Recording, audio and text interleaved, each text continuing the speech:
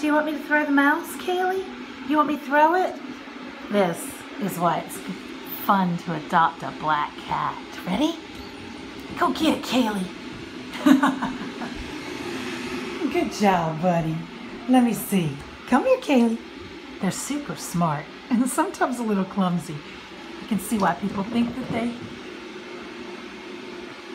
might have been the reincarnations of witches and warlocks.